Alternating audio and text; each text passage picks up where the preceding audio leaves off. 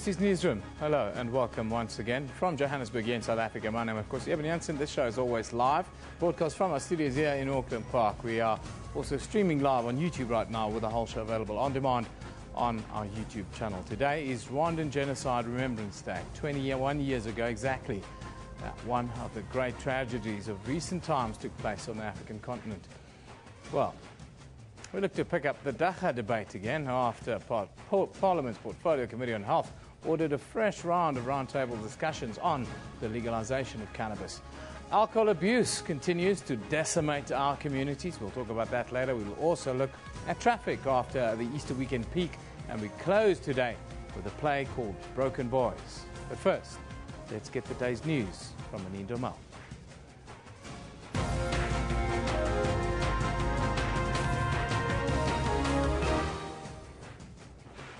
Good morning, I'm Anindo Mal. Let's just have a look at the stories making headlines today.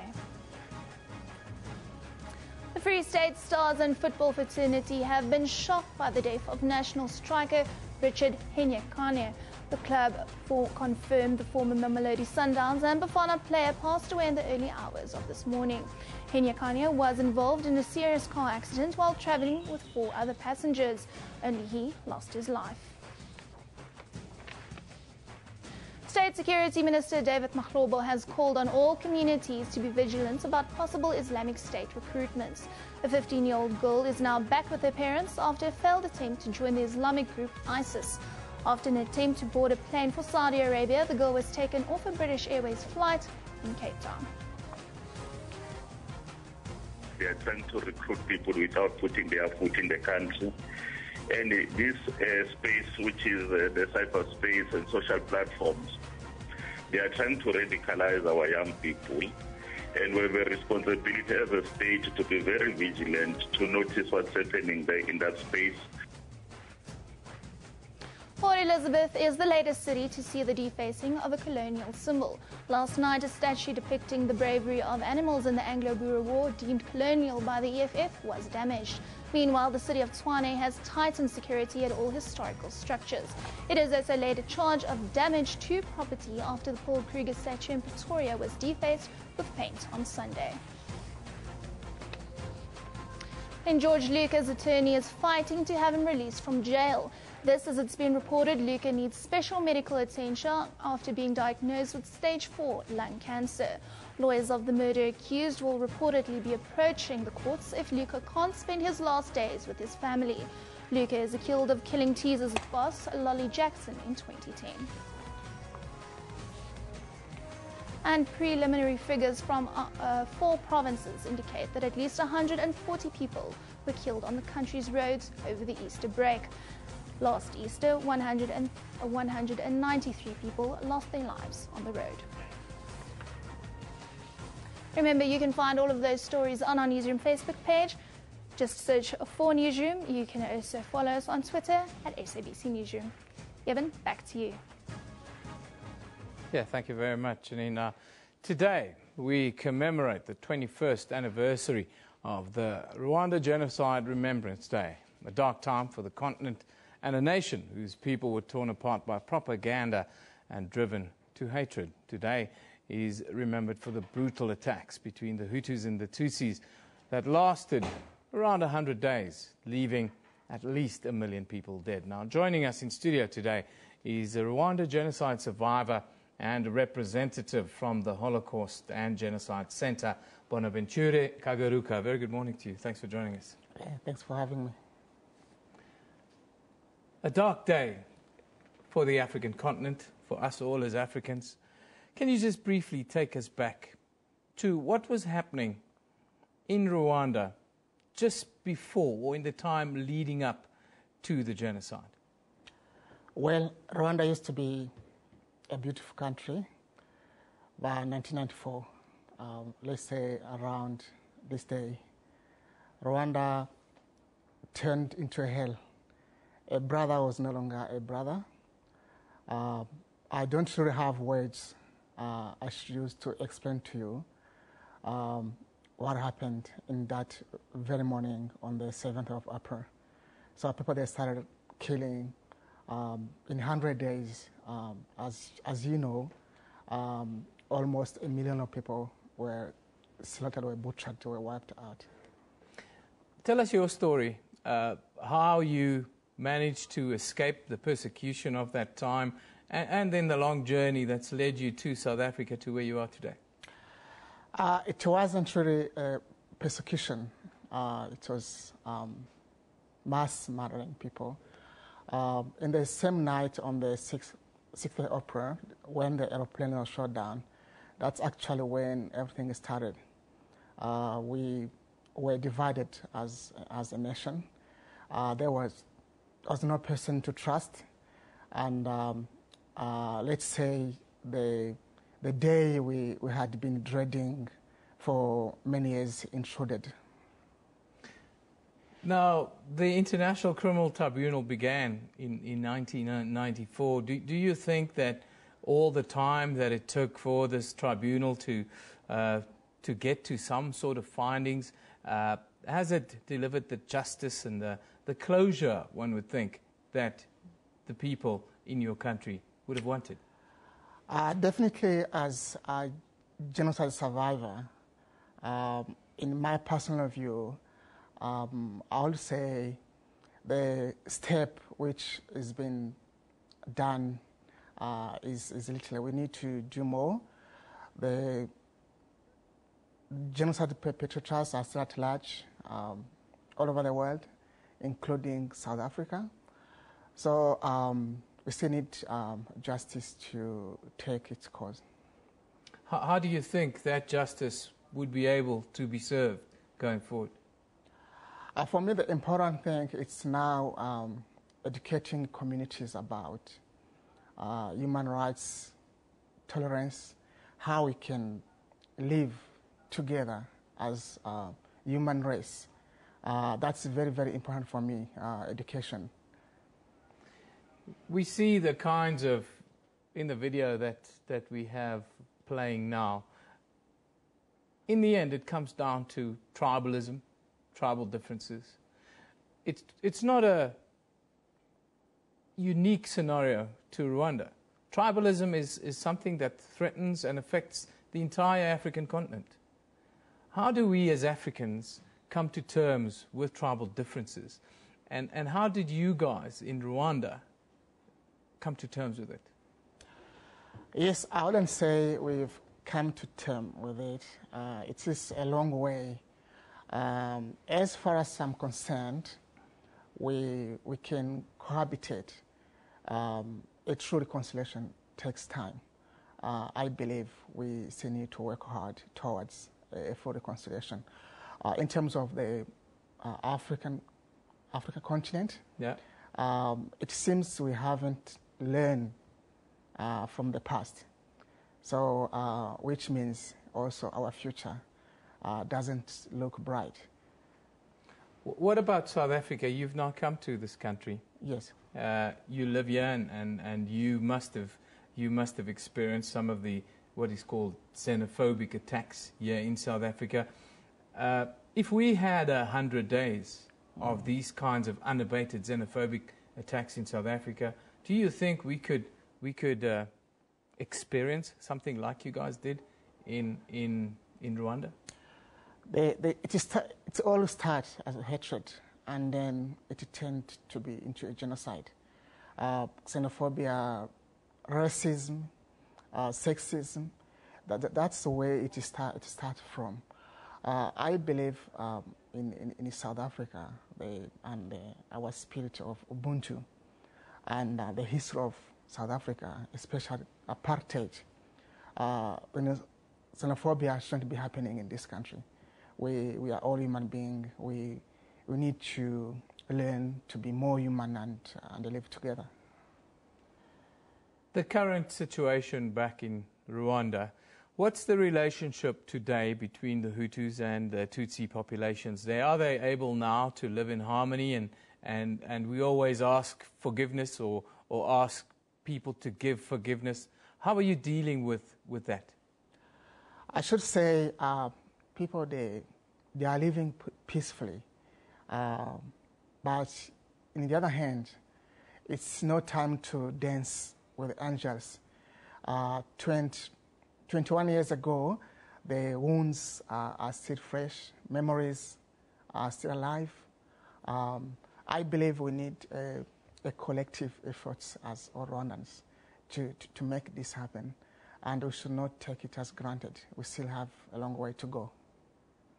Let's get back to tribalism. We, we, see the tribal threats throughout the continent. We, we, see it, we saw it now with the Nigerian election. Uh, uh, tri- tribalism, religion uh, are real threats to the safety of our communities and to peace. Definitely, they are. Um, I link um, personal uh, tribalism to ignorance because we, we are same human race or human beings. Also, there are uh, bad political motivations behind, behind tribalism. It's propaganda. It's, it's, propaganda. Is it the, the, rise of leaders who push these kind of yes. agendas? We see now in South Africa the rise of revolutionary parties who, who tell the populace whatever they want to, to hear, who jump on the bandwagon.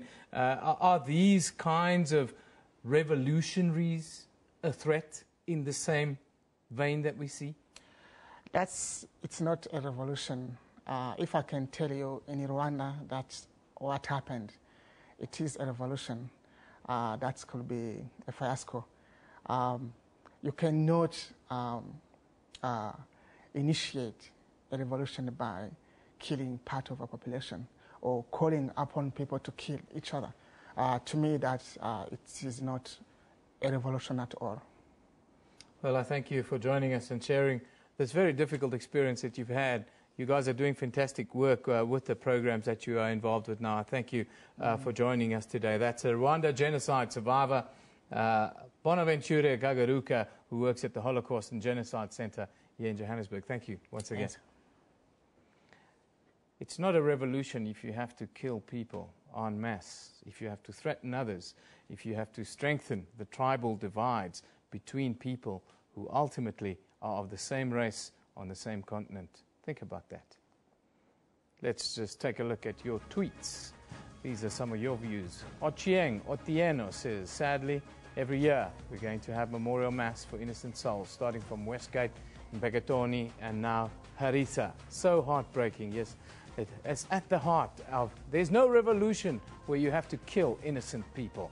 Alfredo Zamudio says, hashtag Garissa Kenya, 148 students executed while at school.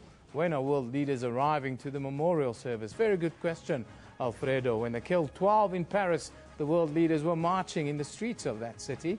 Muhammad Osman says the government has failed us in Westgate, in Garissa University, and it will fail us in future, says Muhammad, speaking about Kenya. Mark Bowden talks about, remind me why anyone is supposed to tolerate Islam. Why?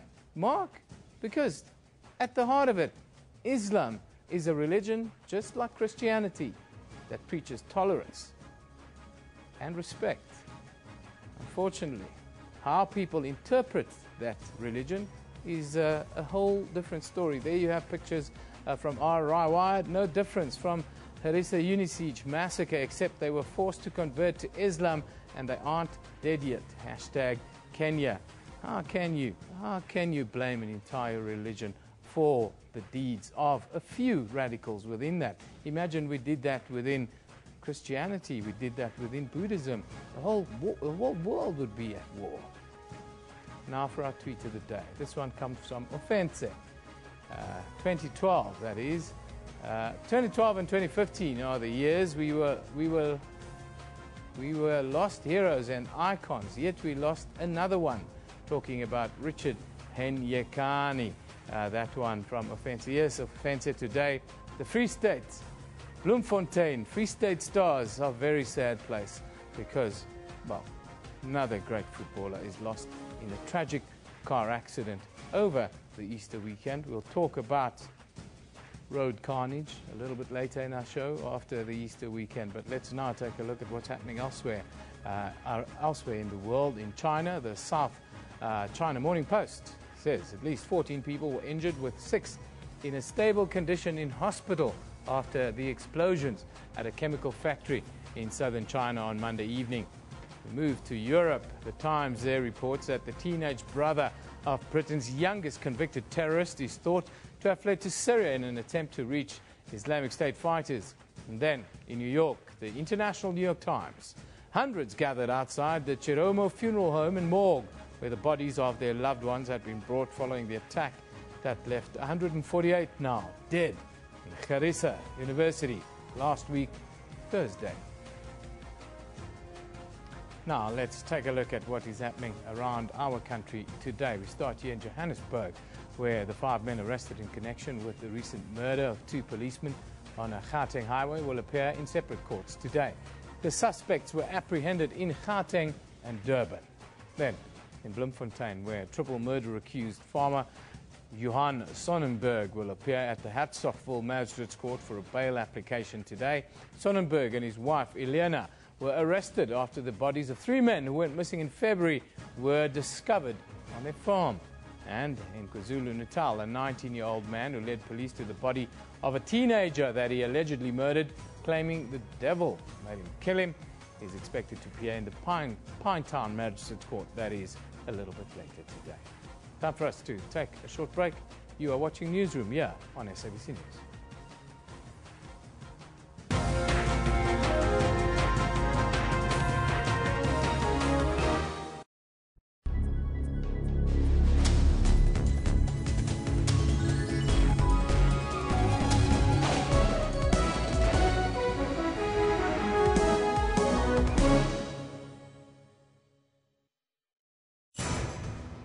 This week, we are taking you around the continent, telling you stories about what makes Africa Africa. We now head to the Kenyan coast where we meet a man using needles to fight a growing drug culture. A recent study revealed that there are 850 drug addicts in Diani alone, with over 220 using injectable drugs such as heroin. In my community, I've seen a lot of these people suffer. The Journal, every Saturday at half past one on SABC News.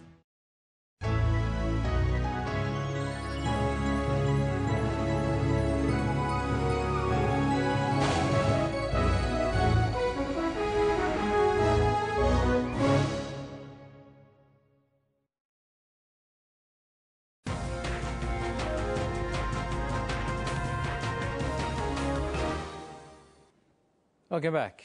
You're still with Newsroom. Now, this week, a two day session looking at the medical and recreational use of cannabis will be held by the Department of Social Development and the Central Drug Authority here in South Africa with the hashtag Dagga debate that we started here at Newsroom.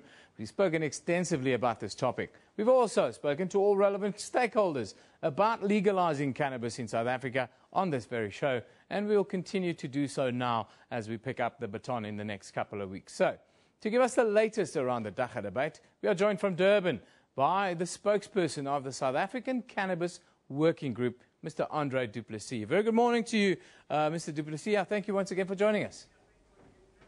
Morning, Eben. Thanks for having me. Andre, just tell us where we are now. It's, it sounds like a, uh, uh, like, a, like a real development, having a roundtable discussion on the use of cannabis in the country. It's a recent development now. Tell us, why is it so important to have this discussion right now, and what does this mean for the legalization of cannabis? Eben, it's important to have this discussion for a start because, the, as with cannabis control or regulation, there would be many government departments and spheres of government that would be involved in regulating and controlling cannabis. And naturally, these different spheres of government would have to speak with each other and have these roundtables to discuss the way forward. Now, the Portfolio Committee on Health mandated that the Medical Research Council, the Medical Control Council, and the Central Drug Authority have these discussions to plot a path forward so that we can figure a way to join the change that's happening internationally.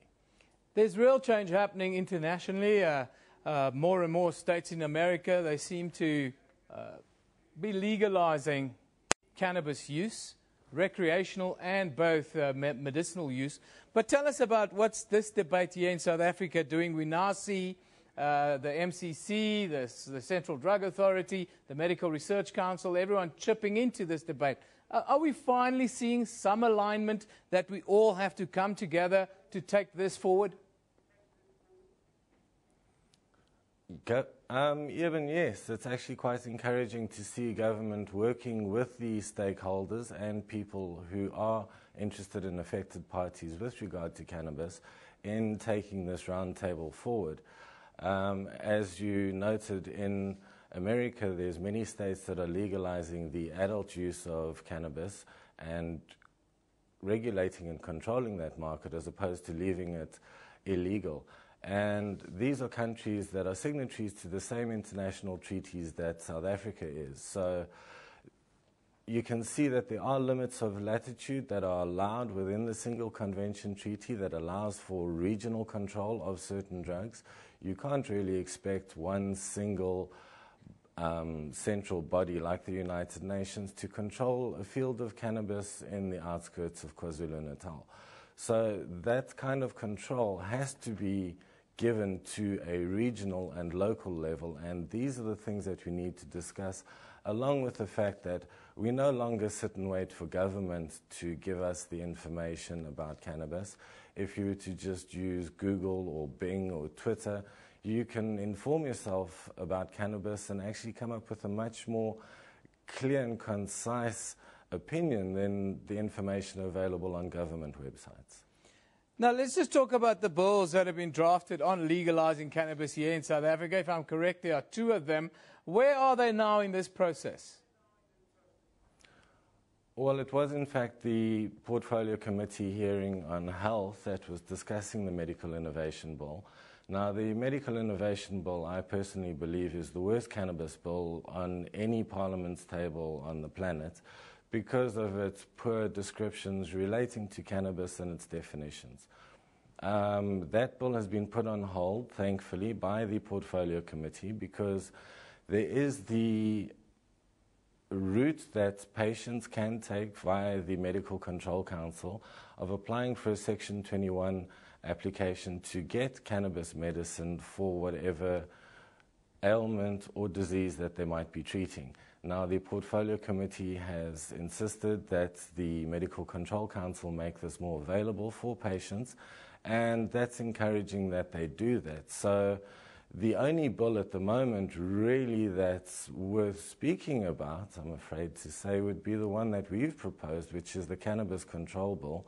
And as yet, what we're going to propose it at this roundtable, mm. it is based on international best practices, and I discussed it here in the newsroom once before. Now, let's just talk about this. There's overwhelming interest from the public. Uh, have the public really been able to give their sort of input in these bills, and, and, and, and what has the response been? With the Medical Innovation Bill, they did a call for public input, but between versions 1 and version 11, it didn't seem as if any input was actually afforded any of the South African citizens, so I'm not too sure about that. With our cannabis control bill, we had over 250 people um, contribute to the working of it, including some international experts from the UK and the US that have been involved in bills in their respective countries. So we, our bill is based on international best practice, and it's a sound, practical bill for South Africa. Now, Andre, this week there is now a bit of movement with the roundtable discussions that's happening this week. Where can the public get involved with these roundtable discussions? And, and who do you, other than yourself and the Cannabis Working Group, who else will be involved in these roundtable discussions here in Johannesburg on Friday? I haven't been given a list of the delegates that will be attending these roundtable discussions, but I'm assuming that it will be key government departments like the CDA, MCC, MRC, Departments of Health, Departments of Agriculture, Forestries and Fisheries, and I'm sure SAPS will be there too. Um, as for the public getting hold of um, people and perhaps contributing, I would suggest that they get hold of the Central Drug Authority.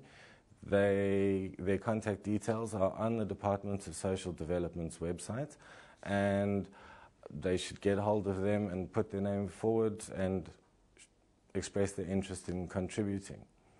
Um, there's, you know, as, as I said, Eben, these roundtables have got to discuss the various things regarding cannabis, the harms, the, the practicality, the pragmatic approaches to whether it's controllable or not. And your next article, which is coming up about alcohol, um, it's, they have to be weighed in comparison to the social harms in society. Now, with regard to alcohol, for example, in the Western Cape, the most measurable statistic of a substance being abused is measured in the babies born with fetal alcohol syndrome. Yeah. Now, the Western Cape has the highest incidence of fetal alcohol syndrome, yet the female mayor and female premier of that province don't address this incidence of substance abuse recorded in infant births. And in their anti substance abuse campaigns, they don't even talk about that, yet they talk about all other substances, including cannabis, as being a problem. Yeah. And they, they miss the most very obvious one.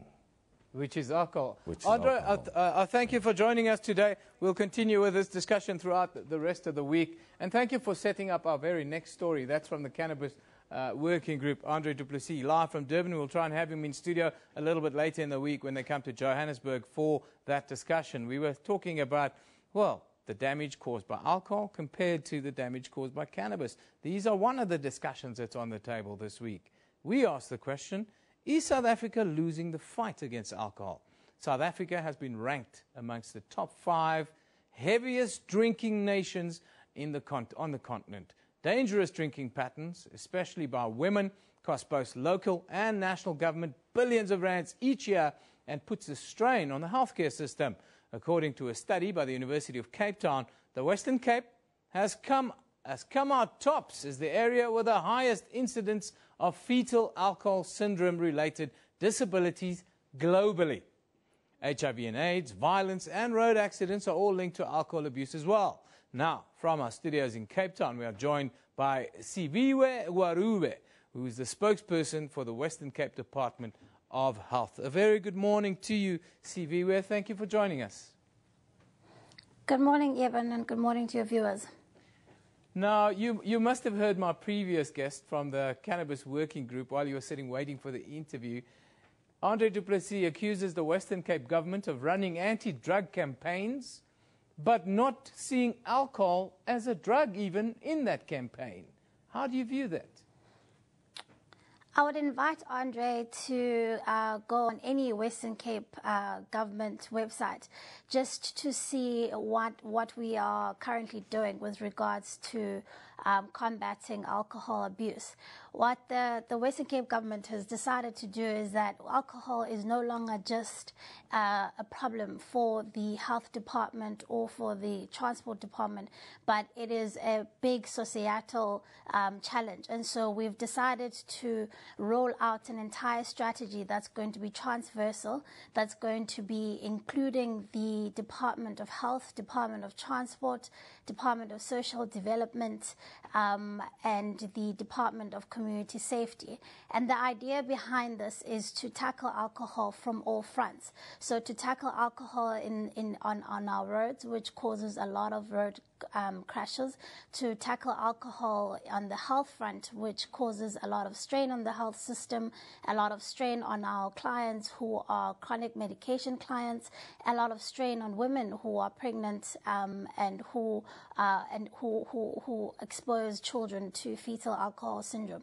And so I, I believe that if Andre were to take the time to look at our at, our strategy, he would he would um, he would change his mind.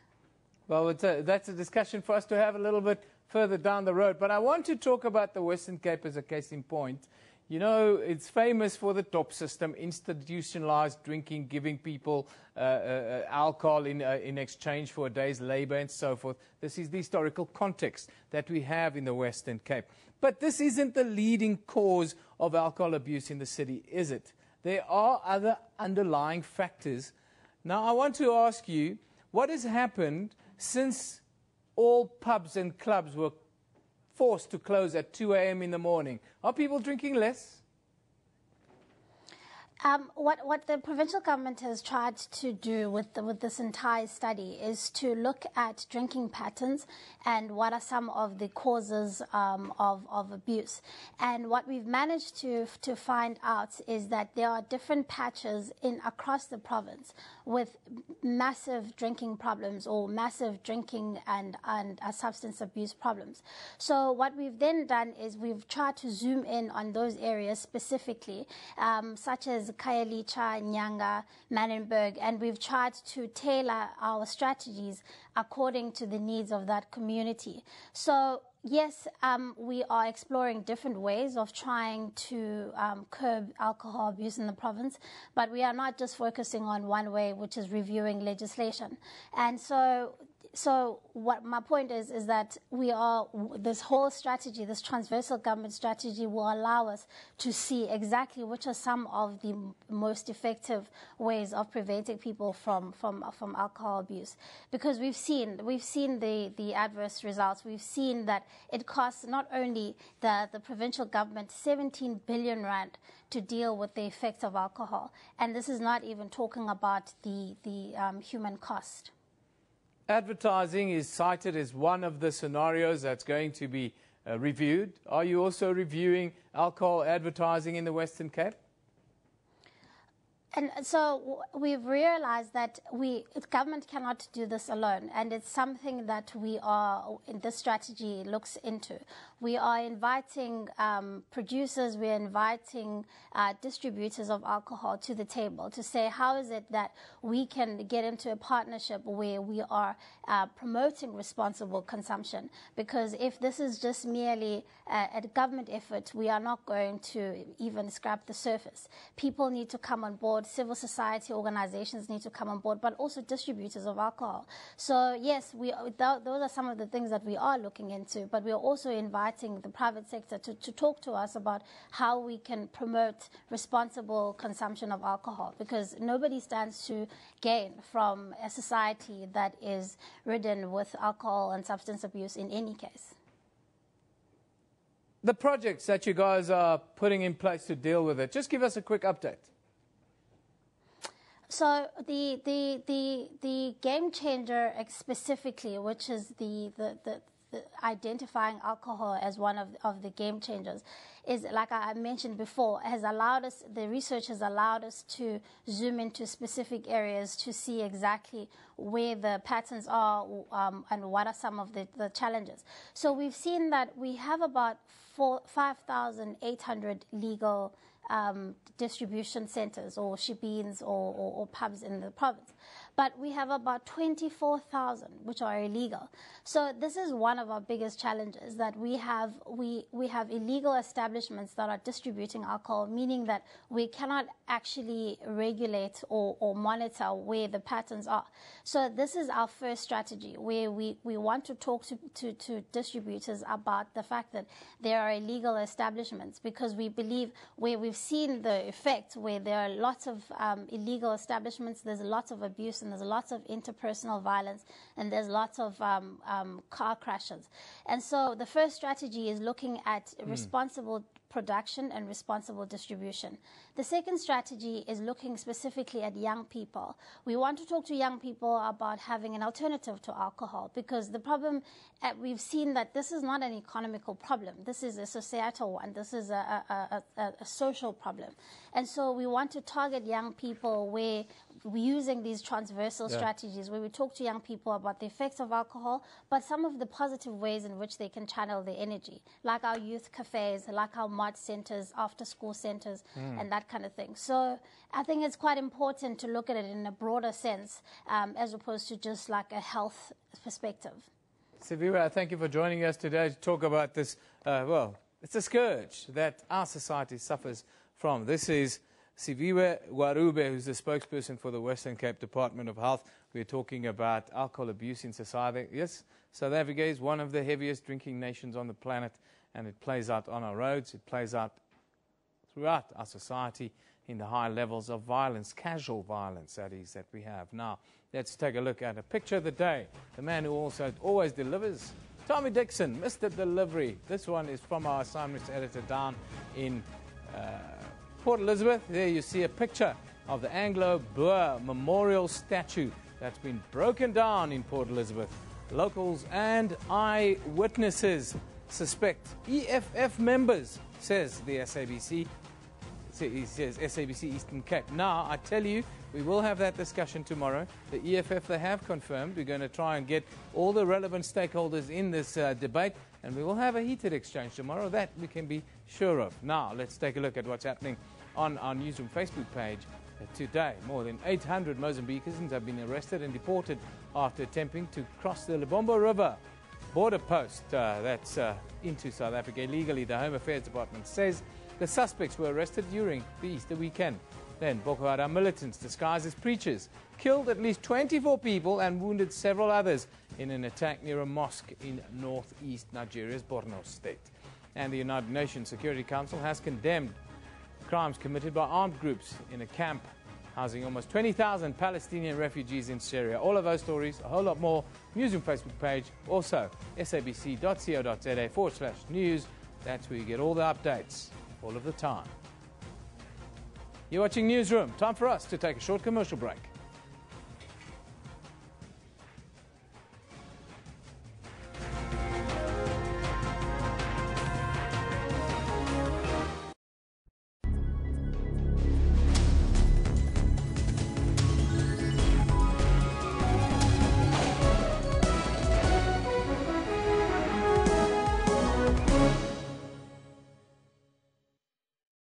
Art is a personal expression that evokes a flame from within. Street art, it's, it's, it's a vast concept. Dancing is one of the main art forms on the streets of Africa.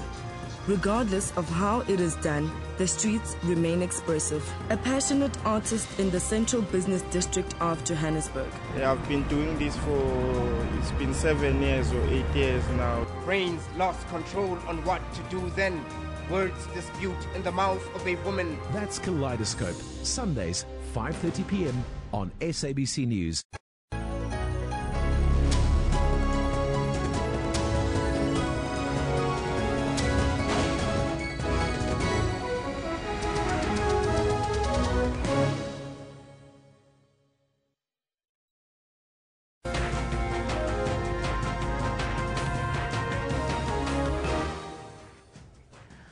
Welcome back. You're watching Newsroom on SABC News. Let's just have a look at the stories making headlines today. The Free State Stars and football fraternity have been shocked by the death of national striker Richard Henyekane. The club confirmed that the former Mamelodi Sundowns and Bafana player passed away in the early hours of this morning. Henyekane was involved in a serious car accident while travelling with four other passengers. Only his life was lost. State Security Minister David Mahlobo says security officials are working tirelessly to ensure the safety of South Africans, but has called on all communities to be vigilant about possible Islamic State recruitments. A 15-year-old girl is now back with her parents after a failed attempt to join the Islamic group ISIS. After an attempt to board a plane for Saudi Arabia, the girl was taken off a British Airways flight in Cape Town. Port Elizabeth is the latest city to see the defacing of a colonial symbol. Last night, a statue depicting the bravery of animals in the Anglo-Boer War, deemed colonial by the EFF, was damaged. Meanwhile, the city of Tshwane has tightened security at all historical structures. It has also laid a charge of damage to property after the Paul Kruger statue in Pretoria was defaced with paint on Sunday. Remember, you can find all of those stories on our Newsroom Facebook page. Just search for Newsroom. You can also follow us on Twitter at SABC Newsroom. Eben, back to you. Thank you, Anine. Now, preliminary figures indicate that at least 140 people were killed on the country's roads over this Easter weekend. Last year, 193 people lost their lives on the roads. Meanwhile, a new regulation, the National Road Traffic Act, will be introduced from next month in an attempt to try and stem some of the carnage on our roads from the 1st of May parents traveling with their toddlers will be obliged by law to strap them into a car seat. Already during the Easter weekend, law enforcement officers cracked down on those who didn't put their children's safety as a priority. The aim was to try and reduce the 2015 Easter death toll to beneath the 100 mark. Now, taxi organization Santaco's Bafana Magagula is once again with us in studio to just look back at the weekend. You were here last week, Mr. Magagula. Just give me your, your view of how this uh, Easter uh, this Easter weekend went on our roads. Well, um, though traffic is keeps on increasing, um, I, th- I, think there is some improvement, though it is not good enough from uh, uh, what we experienced, that we're still having over 100 people killed. Um, we're looking at the situation, or we're targeting a situation where um, we, will, we will see a, a not death on, on our road. The attitude of the people needs, needs to change. Now, a little bit earlier, we spoke about alcohol abuse in our society in general, and then also it plays out on, on our roads. The devastation that it calls on the roads cannot be argued against. Why do people continue to drink and drive in South Africa despite all the campaigns that we have ongoing? Um, though one cannot give a, a real reason why, um, I think we need to continue, uh, you know, saying it uh, conscientizing people, uh, reviving their consciousness, mm. and law enforcement needs to take its course. Uh, there must be zero tolerance uh, when one is, is found drinking and driving. And when, when that is done, there should be also conviction. And those convictions should be announced so that people can see that uh, this, this is uh, not good for, for, for road user or for one to, to, to take liquor and drive.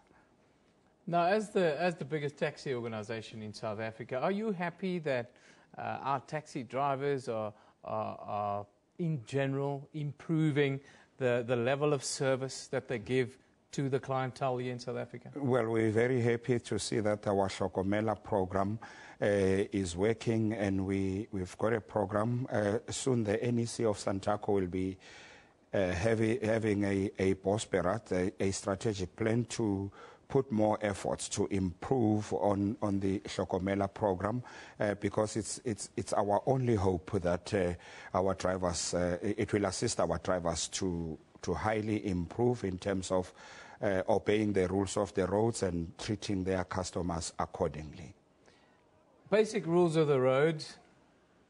There are basic things that we all have to adhere to before and after a trip. Uh, do we do we do regular pre-trip car inspections?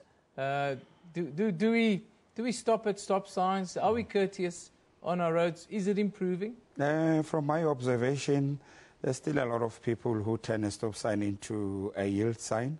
And uh, from our Hlokomela program, uh, there's a lot of improvement if you go to taxi ranks and you check vehicles that leaves our taxi rank.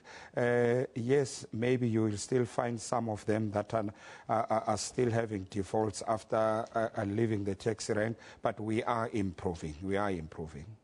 Now, 446 drivers were arrested for driving without a license over the last week here in South Africa. How do we correct that? How do we deal with that? Um, I, th- I, th- I, think um, local or e- e- EMPDs must be must be your your metro police uh, uh, officers should be very should be very strict uh, before even the, the, the, those people move move out of our cities and go on on national roads. And there must also be no no, t- no tolerance in terms of someone who is found driving without a driver's license because that person poses a danger to other road users. Well, Mr. Magagula, we can conclude this uh, interview with some sad news. You saw the headline now. Uh, you know, we've lost another top sportsman in South Africa to the carnage on the roads. Mm. Uh, Richard Henyekane died last night. Uh, he was in a car crash with four others and it's really affected South Africa. Thank you for joining us today.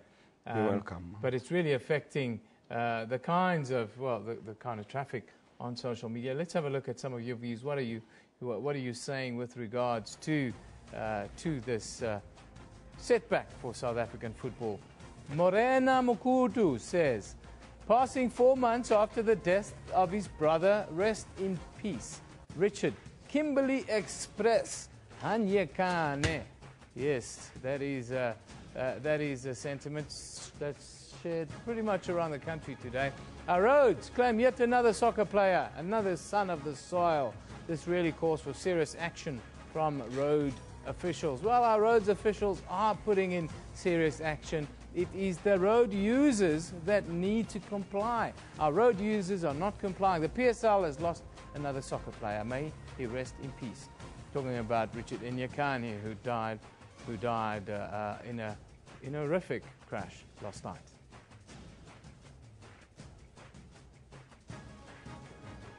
Sexy chubby super mega, super mega says, What's this I'm hearing of Richard Henyekane, Henyekane pi, uh, passing away this morning? Yes, it is correct. Road accident. Road accident claimed another one of our talented souls, talented sportsman, great football player, the Kimberley Express. Richard Henyekane is no more with us.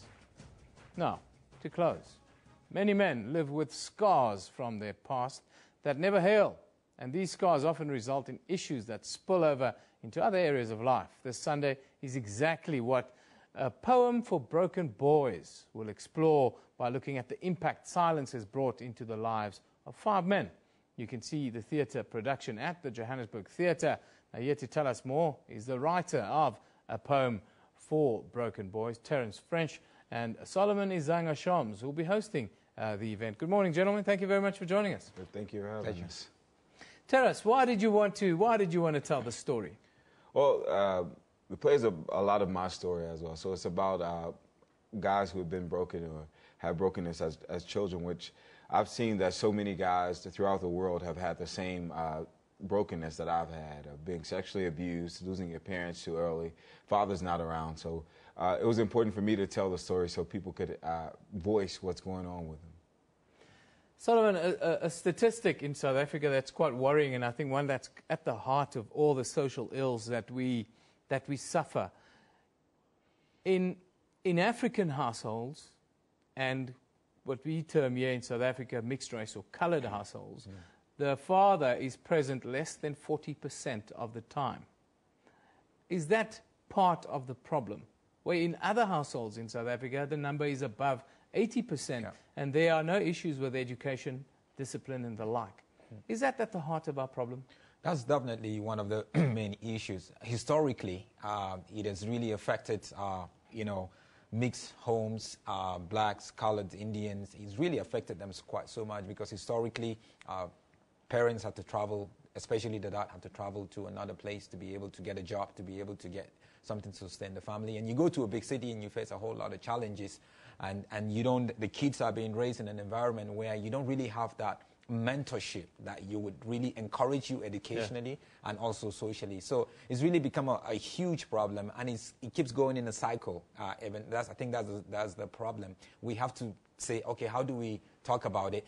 Uh, we've been talking about, you know, uh, women quite a lot. How about we talk about the issues that men are going yeah. through? Yeah, the, the, the problems, they, they become women's problems, don't they? Terence, from Nashville all the way here to South Africa, mm. it's a story that really resonates through all, throughout, the, the, th th throughout the nations of the world. But I think there's a particular thread between African Americans and mm. what we have here in South Africa. Right. We, we see, um, I've been here since 2009, back and forth, and I've seen so many similarities in, in communities of uh, African American communities and South African communities. So you see the same brokenness with fathers being absent. Uh, it, it seems to be the same cycle.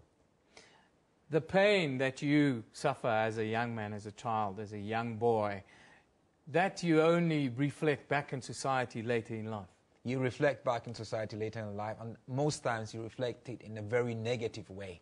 You know, if you not, if you don't really take the time to process it, for someone to really help you to to really deal with it. You know, you see a lot of men today who are married or who are adults, and they they tend to abuse pornography or alcohol or they're abusive or very angry. For me, you have to go to the root of the problem. You have to go to their childhood. Yeah. And, and that's what we need to really concentrate, especially for women.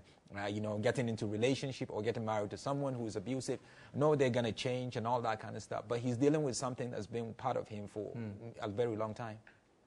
Terence, only one show, but we're going to bring it back. We need the show every day. we would like to bring it back in the future, but we want to really uh, just get it kicked off here first. We've done two runs in the U.S. that were incredibly successful, and the turnout was amazing, and the, the rec- they were very receptive. And so, I mean, we're starting off in South Africa. So, T- t- uh, you got a, you got a, you've, you've got a quick, you've got a quick wrap final comments in. Yeah. I understand we're going to get a. Uh, give, we've got, got to give away tickets. Why don't you tell us Yes, about we that? have, we have two tickets to give away. I don't know how you want to give it away. Okay, so what we'll do is, I think it's, a, it's a, a poem for broken boys. If you want to go see it on Sunday, one show only, uh, send us on our Twitter feed. Just send us quick line. Why do you want to go to the show? And you'll be able to come and pick them up here in Johannesburg uh, at the SABC reception. How about that? There you have two tickets. Thanks. Thanks, Solomon. Pleasure. Uh, are we now going to get a poem? Yes, we're going to get a poem uh, Yeah? for, from uh, Terence. And don't okay, forget we're going to say goodbye, and we're going to go out with a beautiful poem that Terence is going to do for us. Thank you. You're watching Newsroom. See you tomorrow. In an IDP camp in Gulu, she lays on her cot alone. Body weak and she is feeble, fear stealing her right to eat, age robbing her of ability to be. She allows her son to go to school, cities away to learn, because she knows that this is his only way to escape. Her baby won't be a soldier. And his concern is while I am here, she lies dying. While I eat, she lies in a government hut starving, and she is alone. And she is alone. And as she lays there, deep breaths she struggles to take. An overwhelming silence surrounds her, and in her pain comes a sound. I know that it feels hard and it's so tough now. But if you would hold on, if you would hold on, change is coming.